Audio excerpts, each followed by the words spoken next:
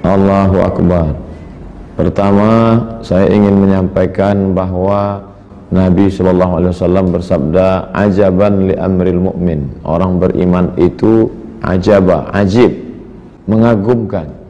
Semua yang terjadi pada diri orang beriman itu mengagumkan. In asabat sarra seandainya yang terjadi itu menyenangkan hatinya syakar karena khairan lahu, dia bersyukur dan itu baik baginya. Karena kalau dia bersyukur la in syakartum, kalau kamu bersyukur la azidannakum, Allah akan tambah.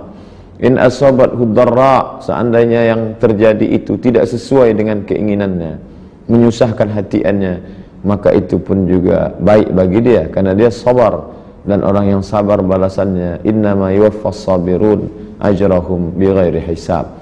Jadi kalaulah memahami hidup seperti itu, maka tidak ada beda antara pujian dengan cacian. Tidak ada beda antara berhasil dengan tidak berhasil. Karena semuanya adalah ujian dari Allah subhanahu wa ta'ala. Andai kemarin saya sampai dan bisa memberikan tiga tausiah mungkin kita bersyukur tapi kemudian saya hanya setengah jam kembali lagi kita bersabar dua-duanya baik mana yang lebih baik antara syukur dan sabar mana yang paling ikhlas menerima ketetapan Allah Subhanahu wa taala.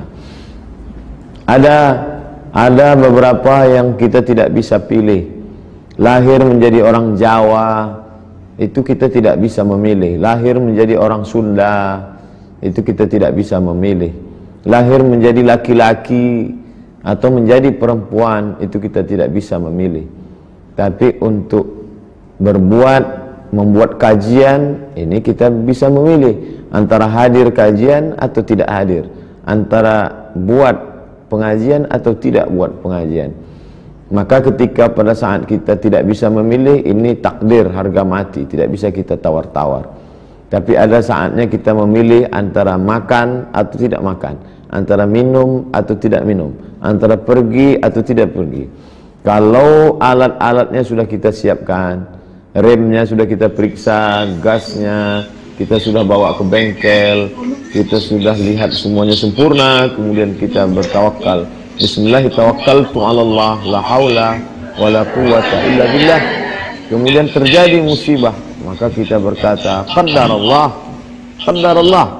Itu ketetapan Allah. Jangan pernah berkata, kalaulah dulu begini, kalaulah begini, kalaulah tidak pergi, kalaulah Kalaulah dulu konfirmasi dengan KBRI, kalaulah dulu minta KJRI, kalaulah dulu calling visa, kalau qadar Allah, kita sudah usaha. Tapi andai terjadi kekeliruan, maka kita perlu uh, mengintrospeksi diri. Nah, ini saya ingin mendudukkan masalah ini, jangan kita sedih berlarutan, baik saya sebagai ustaz yang memberikan tausiah maupun uh, saudari-saudari akhwat yang mentaja acara ini. Insya Allah kita jangan pernah taubat untuk berbuat baik. Taubat dari dosa ya, taubat dari maksiat ya. Tapi gara-gara acara ini lalu berkata saya taubat buat baik, maka ini tidak benar. Apakah taubat buat baik?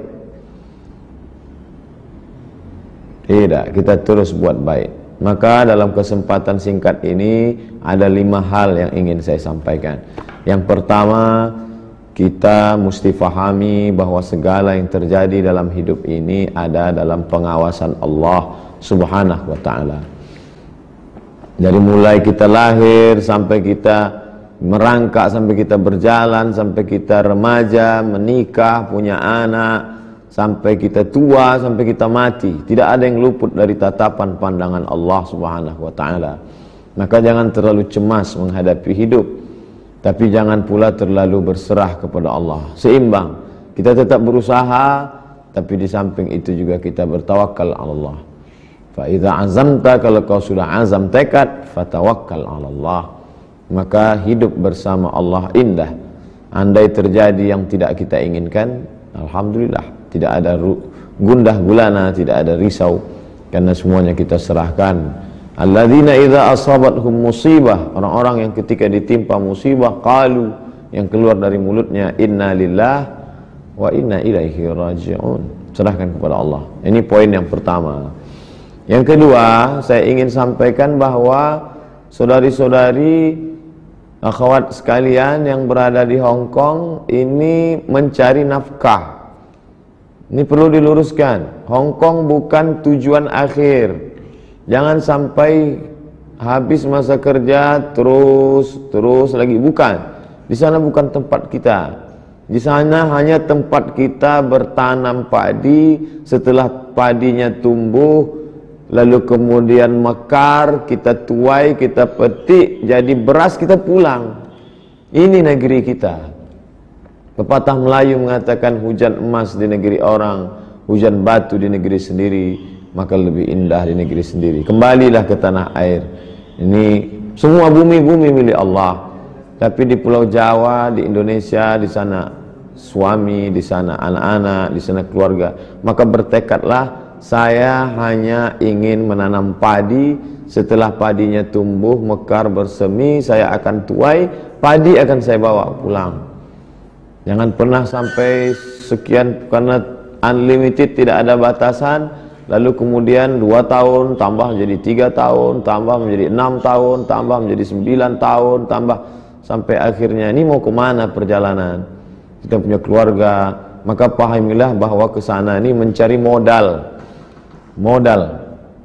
Jangan sampai salah memanage harta.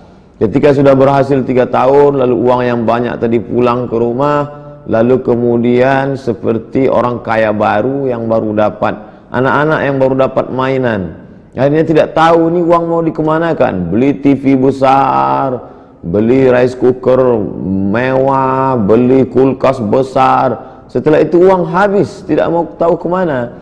Kenapa kita tidak hidup zuhud bersahaja? Bersahaja bukan berarti tidak punya harta, punya. Perbaiki rumah secukupnya, jangan terlalu mewah. Punya kulkas, punya TV, punya alat-alat keperluan kita. Tapi kemudian jangan lupa ini modal untuk ternak ayam, ternak puyuh, kemudian untuk uh, ternak lele, kemudian buka warung kecil-kecilan. Apa yang bisa kita lakukan? bahwa harta ini seperti air garam dia kalau kita minum kita akan haus kurang kurang kurang kurang tiga tahun kurang enam tahun kurang sembilan tahun kurang lau karena libni adam wadian min zahab. Seandainya anak adam punya lembah terbuat dari emas dia tidak pernah berkata cukup puas tidak. Dia akan minta ayakuna lahu wadian akhar. Ya Allah kasih lagi kasih lagi. Walan tamla fahu illa turab. Sampai mulutnya disumbat tanah. Maka saudari-saudariku sekalian pahamilah bahwa ini e, tempat untuk mencari modal. Lalu kemudian yang ketiga hukum aslinya perempuan itu di rumah. Yang mencari nafkah itu suami. Istri itu hanya di rumah. Tapi terlepas dari keterbatasan negara keterbatasan sumber daya alam keterbatasan sumber daya manusia maka apa boleh buat darurat daripada mati, daripada buat dosa, daripada buat maksiat, terpaksalah saudari-saudariku yang sudah menikah harus berat untuk mengatakannya anaknya tinggal, suami. Padahal semestinya suami yang mencari nafkah. Oleh sebab itu pahami, jaga diri baik-baik, tutup aurat.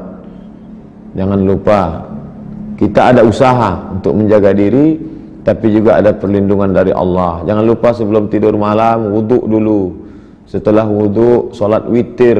Usalli sunnatal witri salasa raka'atin.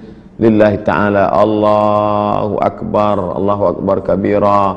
Al-Fatihah. Ayat kalau hafal sabbihis rakaat pertama, rakaat kedua kul ya ayyuhal kafirun, rakaat ketiga kul huwallah. Anda tidak hafal ayat silakan baca kul huwallah, kul huwallah, kul huwallah. Tiga rakaat afdal sehingga tidur dalam keadaan suci. Malaikat mendoakan kalian, melindungi kalian dari santet, dari pikiran-pikiran kotor, dari maaf prostitusi, dari penyakit LGBT, dari berbagai macam. Allah jaga kalian. Baca ayat kursi, Allahu la ilaha illa huwal hayyul qayyum. Allah akan memelihara. Allah berjanji innaka la tukhliful mi'ad engkau tidak pernah ingkar janji ya Allah itu disebutkan dalam Quran maka terus kita jaga diri la ilaha illallah la ilaha إلا الله لا إله إلا الله ما لنا رب سواه.